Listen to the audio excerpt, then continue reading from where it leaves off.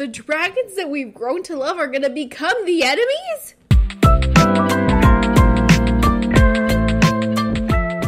Hi, hello, you guys. Welcome to my channel, or welcome back to my channel. Hi, hello. It is me, it is I. Hi. My name is Wendy Ivy, or also known as the Geek Goddess, here on YouTube. Welcome. Once upon a time, I did a video where I talked about theories that I have for the future books in the Empyrean series after Iron Flame came out. Now we have a lot more information to go by. I mean, we literally have a release date, we have the name of the next book, Onyx Storm, and we have some information from interviews that Rebecca Yarros has done and things that she has posted out about what's to come for the next book. So, we're going to talk about what we know about Onyx Storm, and then we're going to talk about a few theories because I already did a whole video on theories. So, if you guys want to see more theories, go on to that video. But now that we've have some things established, here's some things that we know about Onyx Storm, and then some theories to kind of piggyback off of it. So, let's go ahead and get started. Let's talk about the things that we know about Onyx Storm. Number one is Liam and the death theory. So I'm gonna look over. If I'm looking over here, it's because I'm looking at the notes that I took. I was watching a interview that she did with Columbus. Some some interview she did in Columbus about Onyx Storm.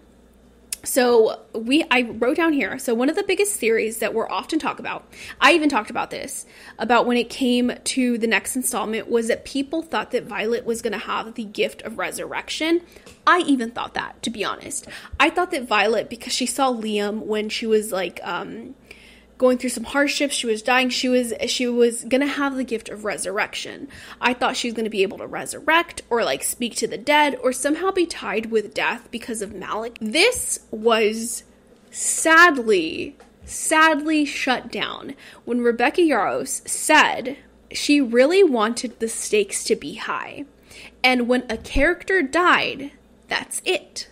They were dead no coming back to life. Like she wrote this series really wanting the stakes to be high. Like there's no resurrection. There's going to be no resurrection in the Empyrean series. Once someone's dead, like they're dead. Does she will she change her opinion in the future? Maybe, we don't know, you know, but as of right now, as far as book three goes, we know Violet does have a second signet that is going to manifest in book three because Rebecca Yarros said that it's already manifested based off of book two, but it's not going to be resurrection. So if you guys thought that theory, you're going to be sadly disappointed. And I'm sadly disappointed too because I had that theory too. I thought that that was what her gift was going to be. So next we have the ending. So when Rebecca Yarros was asked in the Columbus interview, when they asked her like, "Hey, do you know what you're going to do for the ending? What sort of interview? What, what sort of cliffhanger?" Because we already know she always leaves us with a cliffhanger. Rebecca Yarros's only words were, "You guys are going to hate me for this one," and added, "It's a roller coaster." So prepare your therapy appointments ahead of time because this is going to be this is like for her to say you guys are going to hate me for this one makes me feel like this ending is going to be much more intense than the other two books. So I feel like someone is going to die or there's going to be a turning point for the worst. So does Xaden officially turn bad? Like does he literally become the enemy? Does he fall into the venom trap? What does this mean? All we know is that it's going to be a bad one. We're going to hate her for it. And her saying this, you're going to hate me for this one, almost makes me feel like this ending is going to be a lot worse than the other two books. Next, we're going to talk about the Taylor Swift song or album. So, in an interview, the same interview that was in Columbus, they asked Rebecca Yarros, hey, if you, if Onyx Storm were a Taylor Swift song or a Taylor Swift album, what song would they be? And Rebecca Yarros really said red coated, and then she mentioned two songs. She said vigilante shit, which is one of the songs. It's not in red coated or rep Coated, I'm sorry, reputation coded, reputation coded. And she also mentioned another song that goes So It Goes. If you guys know the lyrics to the song So It Goes, some of the lyrics say, You know, I'm not a bad girl, but I do bad things with you. And we already know I'm not sure if this is talking about like, you know, the smut. I feel like this is more like we know that Xaden is Venin now. You know, he's doing some she might be doing some questionable stuff because he didn't be falling to the dark side.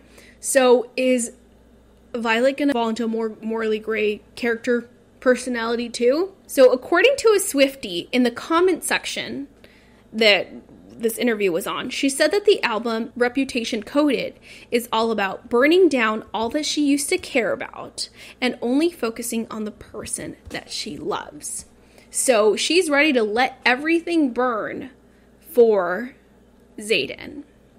And then it makes you think like, if she's ready to let the world burn for Xaden, what does that say for the dragon? Because we know Tairn and Sgaeyl they're tied to Xaden and they're tied to Violet. So chances are, if something happens to them, Tairn especially might also end up unalive, and thus Sgaeyl as well. If that happens, and Xaden and Violet choose to burn down everything else for each other, and their dragons follow, what is that gonna? Where does that land with the other dragons. What kind of war are we entering now? You know, a civil one? So, the next thing that I want to talk about is balance.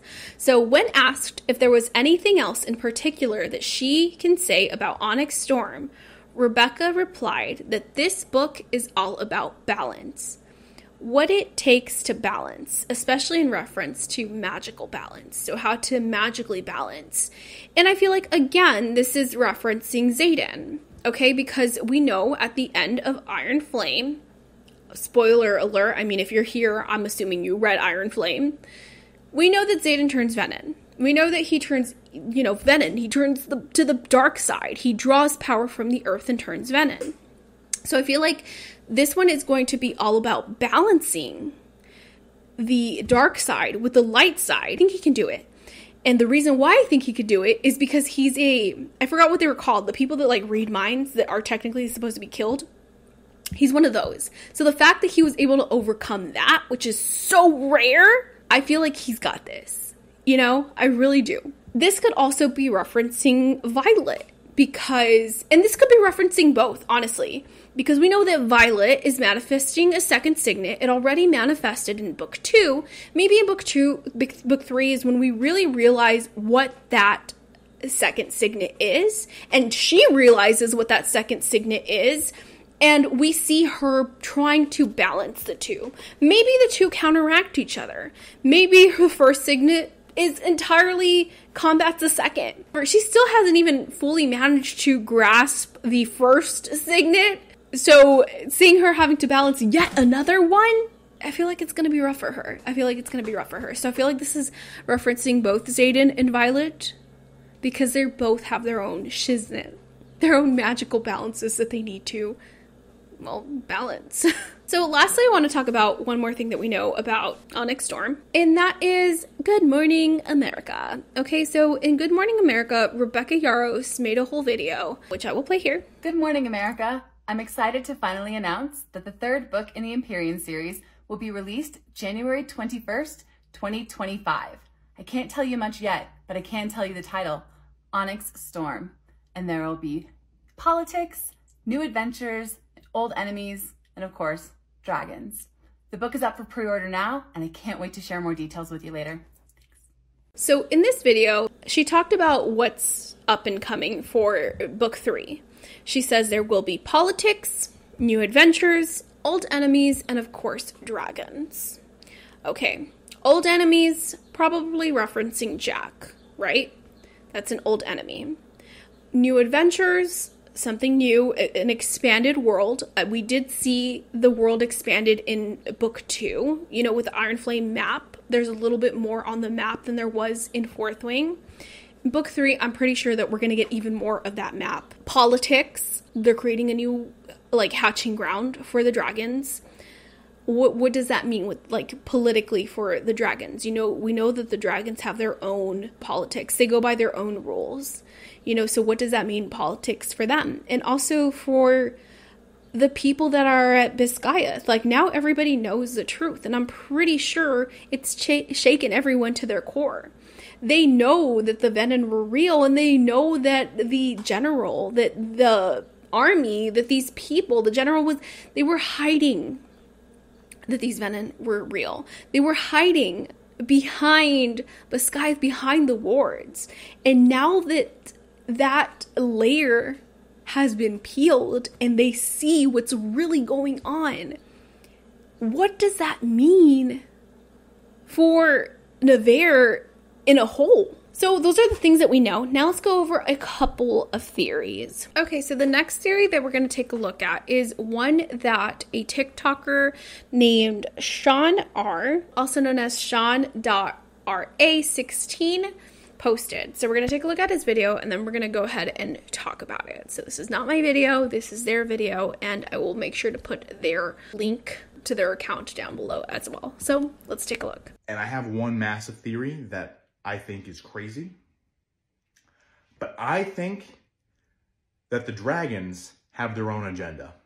Let's go to chapter one in Fourth Wing. Violet is talking to Mira. I was trying to get her to leave her dad's folklore book at home. This is how Violet describes that folklore book. Maybe it's childish, just a collection of stories that warn us against the lure of magic and even demonize dragons. And Mira goes, Is that old book of folklore about dark wielding vermin and wyvern?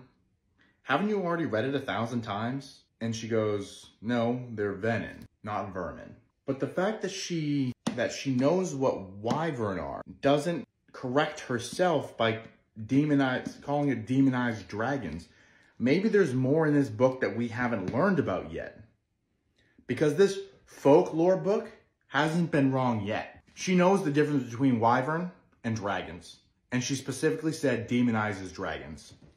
Dragons are bonding less and less with their cadets, with cadets. Could it be because less and less dragons want to vouch for the human race? Could it be that the ones that do want to protect the people are trying to prove a point that they're worth protecting? Is that why Sgaeyl cries out at Xaden and says, I chose you, as in, you're defying my honor as a dragon by choosing otherwise. So I'm going to cut this video short. He does have another theory in there that I will post again down below. So if you guys want to see the whole video, and it's this, this is like a four part series, I believe, you can see his other videos as well. But this is a main one that I want to talk about that the dragons have their own plans.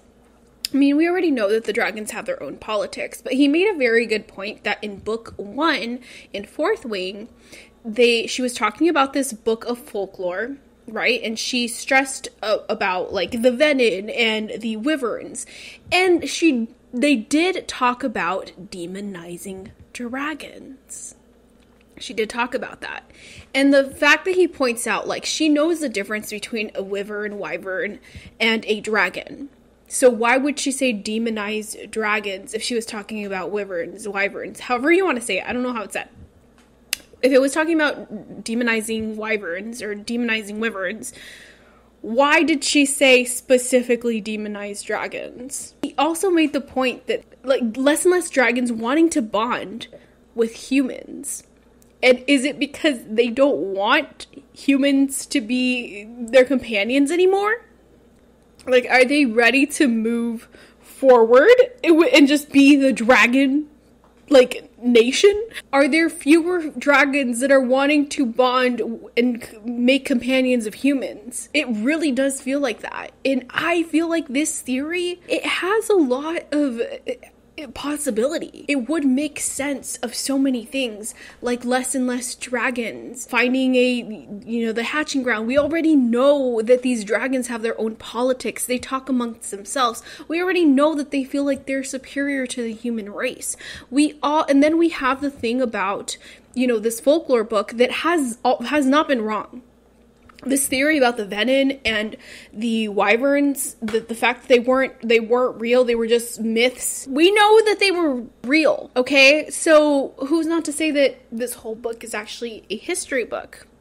Dressed up and wrapped up as a book of mythology. This one this one is good. This one's good. Because if that's the case this whole series is gonna take a drastic turn.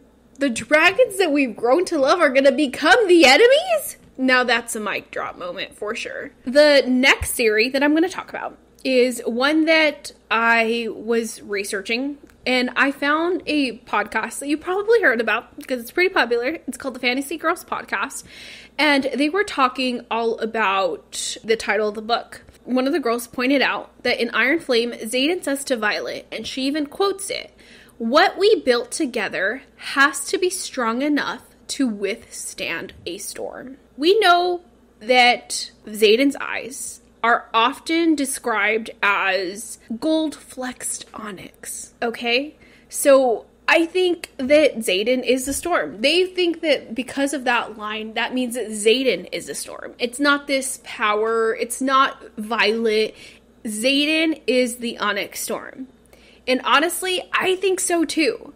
Because we hear so many times throughout book one and book two Xaden's eyes often being described as gold flex onyx, his onyx eyes, his, you know, always onyx eyes. And then that line right there makes me think that yes, this whole book, book three, is going to be about where the relationship stands. Because we know with the interviews about Rebecca Yarros talks about this is this book is all about magical balance. We know that she references Reputation Coded, and that that whole album is about her rising from the ashes and doing you know, burning it all down for the person that she loves. So I feel like book three is going to be more focused on the relationship between Xaden and, and, and, and Violet and where it stands now. And I feel like that is the Onyx Storm because it's not Violet. Violet doesn't have the power of Storm. That was her mom. Violet has the power, I think that was her mom, right? Yeah. Violet has the power of lightning. I think that Xaden and Violet's relationship might be the Onyx Storm. Next, there's another theory. So some people are speculating that in Onyx Storm, there's going to be multiple point of views, which isn't like a brand new thing. You know, it's not something brand new. We've seen this in the Throne of Glass series. Once Heir of Fire came out, we saw that the world expanded from just being Celaena slash Aelin's point of view to getting multiple POVs because the world expanded because the i guess the overall obstacle challenges uh problems expanded got bigger. You know we started getting more and more of the world. We even saw this with the um with the uh, Court of Thorns and Roses series. You know, once we got opened up, we ended Feyre's story. We opened up and got started to get more point of views. We started to get Nesta. That was a different scenario, but you get what I mean. Like once the world opens up, things are happening and they're bigger. We might start getting multiple point of views. So, and I'm not surprised because we are prepared for this with the bonus chapters, with the endings at the end of every book. Some people even speculate that we might be getting Xaden's point of view in the third book and not Violet's, you know, or Xaden and Violet's. That's a possibility too. Uh, but I feel like, yeah, multiple point of views, it would make sense to do so. It would make sense to do that. So that's what I got for you guys. I hope you guys enjoyed this video as much as I enjoyed making it and talking about these theories because it was so much fun. And let me know what you guys think. Have you guys heard any theories? Are there any theories that you enjoy? Let me know if you guys want to make want me to make a whole separate video where I literally just dissect other people's theories that I find on TikTok because I am so down to do that. So thank you guys so much for watching. If you guys want to see more theories, I have more theories that I will link at the very end of this video. It'll pop up here here. And I'll also post it down below. I have a whole reading log reading vlog for Fourth Wing and Iron Flame if you want to check that out. If you haven't yet, hit that subscribe button and turn on that notification bell to be notified when I post. Thank you guys. And also hit that like button. Because I know it glows or something, right? So thank you guys so much for watching and I'll see you in the next video. Bye!